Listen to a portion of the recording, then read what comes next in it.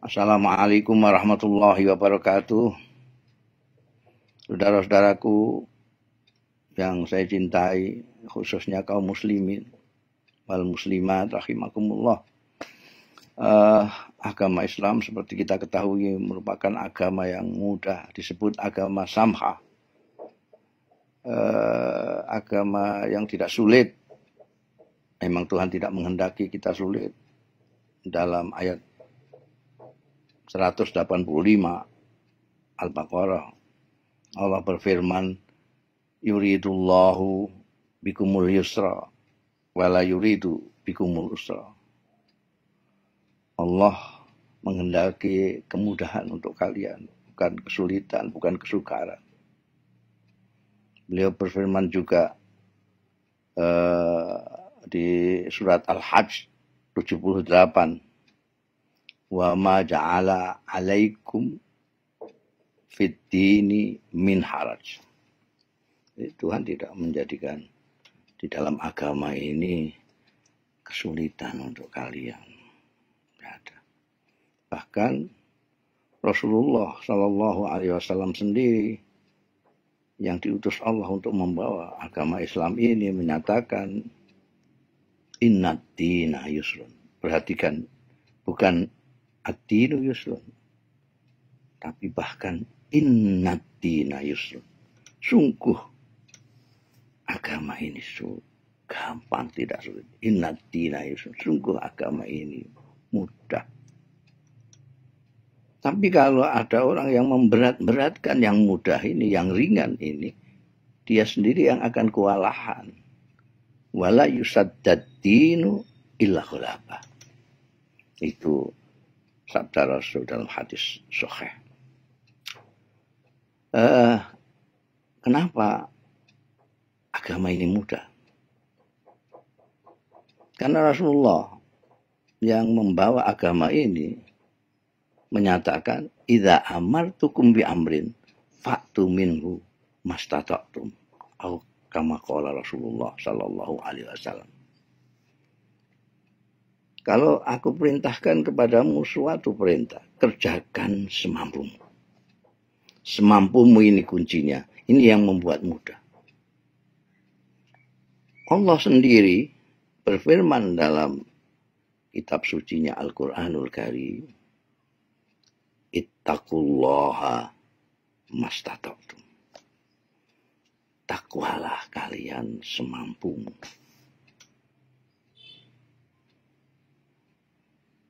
Semampumu ini adalah kuncinya. Karena itu kalau kita lihat contoh-contohnya banyak sekali. Kita diperintahkan sholat zuhur empat rakaat. Sholat asal empat rakaat. Tapi ketika kita pergi jauh, kita bisa dapat korting. Asal dua rakaat. Zuhur dua rakaat. Bahkan bisa kita gabungkan antara duhur dengan asar dua rakaat dua rakaat. Disebut jamak kosong. Jadi tergantung kondisi kita karena agama itu untuk kita bukan untuk Allah. Untuk kita. Jadi Tuhan menjadikan kondisi kita sebagai perhitungan. Kita kondisinya kayak apa?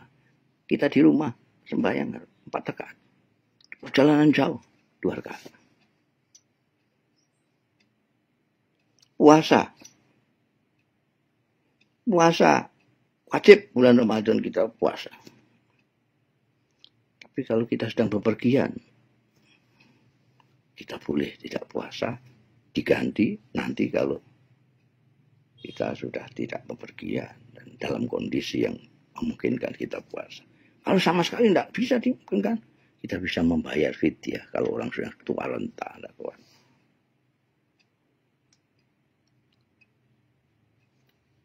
Kita tidak bisa jumatan, kita bisa. Kenapa nggak bisa jumatan? Karena ada uzur. Misalnya hujan lebat. Ada hujan lebat. Dulu sudah pernah ada hujan lebat. Hayya alas solahnya oleh muazin diganti ala sallu fi buyutikum. Jadi salat Jumat bisa diganti salat zuhur. Kita ada ke masjid tapi di rumah. Itu kalau hujan lebat saja bisa dijadikan uzur untuk kita tidak Jumatan. Nah ini ada virus menular yang mengguncangkan dunia, bahkan membuat panik orang banyak. Bukan karena kita tidak bukan karena kita berani mati, bukan. Tapi karena kita tidak mau menyebarkan, menularkan sesuatu yang nanti sulit dikendalikan. Nah, nanti kita nggak bisa tidak bisa silaturahmi sama kawan-kawan.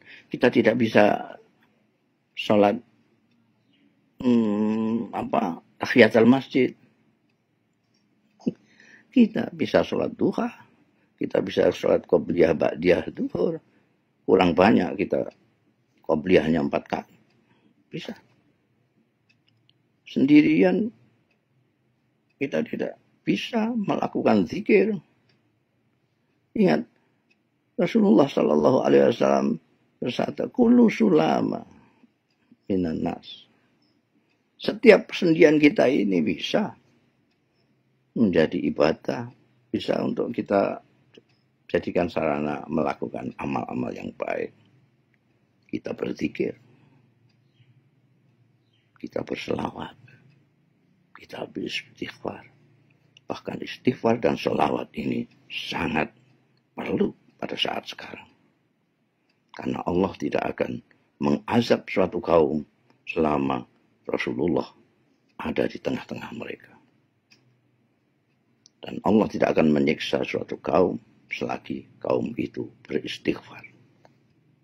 Kita bersalawat mengharap hadirnya Rasulullah Shallallahu Alaihi Wasallam di tengah-tengah kita dan beristighfar. Mudah-mudahan ada manfaatnya mudah-mudahan wabah yang menggunjingkan dunia ini segera dihilangkan oleh Allah Subhanahu wa taala. Rahmatnya dikembalikan kepada kita semua. Kalian semua sehat walafiat, lahir dan batin. Yang terpapar juga segera sembuh. Wassalamualaikum warahmatullahi wabarakatuh.